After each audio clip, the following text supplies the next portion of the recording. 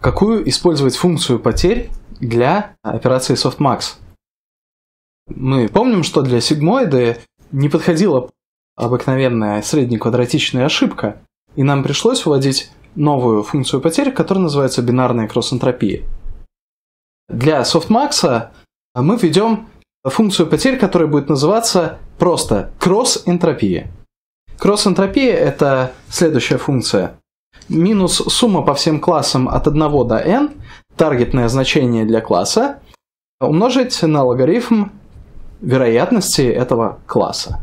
Где вероятность класса – это softmax от выходов из нейронной сети, а таргетное значение для класса – это 0 для почти всех классов, кроме одного, который присутствует на этой картинке. Почему такая функция потерь?